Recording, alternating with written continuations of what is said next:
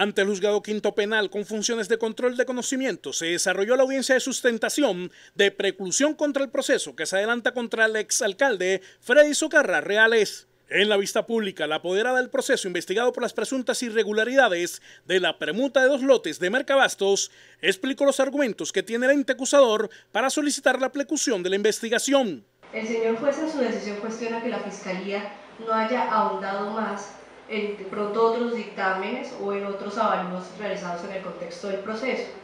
En la oportunidad de la audiencia de formulación de imputación y también en la oportunidad en la cual se solicitó la preclusión se dijo que los otros avalúos existentes en el proceso, digamos, el,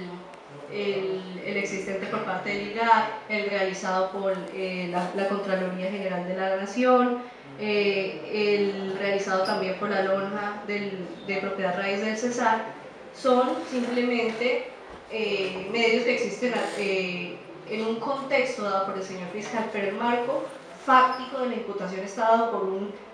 peculado por 3.099.792.187 que se fundamenta en un informe de policía judicial que no dice eso.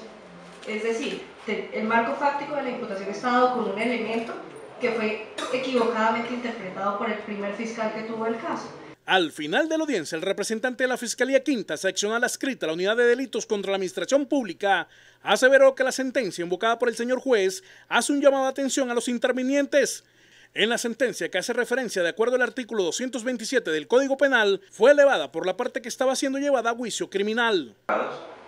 Con la misma finalidad que ha citado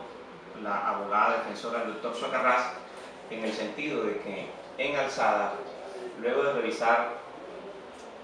y de analizar los argumentos que hemos expuesto e igualmente lo que ha solicitado el señor fiscal, revoco la decisión tomada por usted